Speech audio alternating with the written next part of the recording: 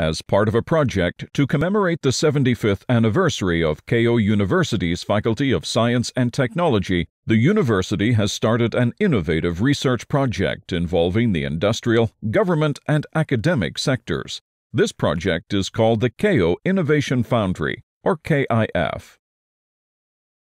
Its participants have formed a consortium to co-develop technologies from the Faculty of Science and Technology that are close to having commercial applications. The aim is to pursue a diverse range of joint research, with lively interchange among researchers in all three sectors.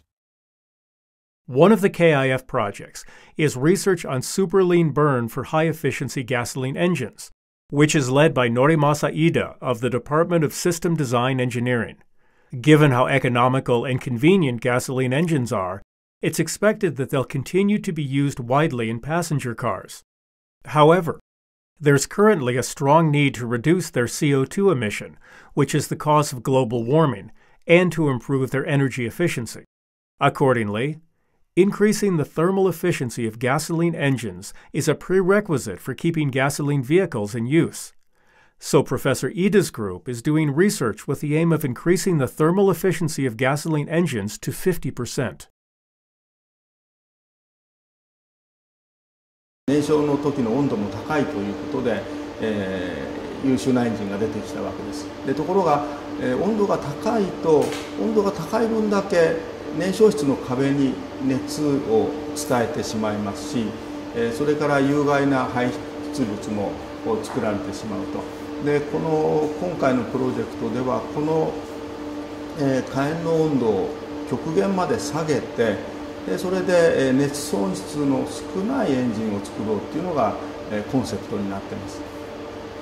To increase the specific heat ratio of the in-cylinder gas, the Iida lab is considering a lean burn technique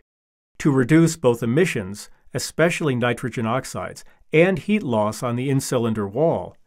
innovative technology is being developed to minimize the fuel air ratio. With this technology, flame temperature and heat flux to the in cylinder walls can be reduced simultaneously.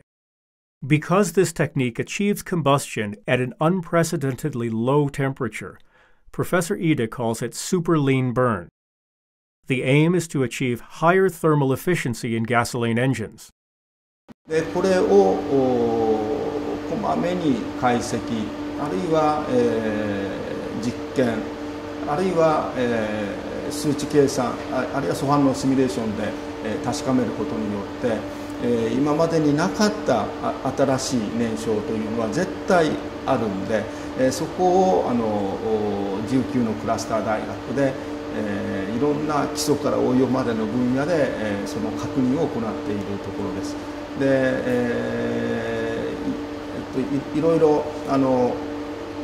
えっと、多くの課題あるいは困難はありますがその先がトンネルの先がなんか火が灯ったぞっていうのがあの見えてきてこれからあのその総力を結集してその革新的燃焼技術の確立に努めたいと思っているところです。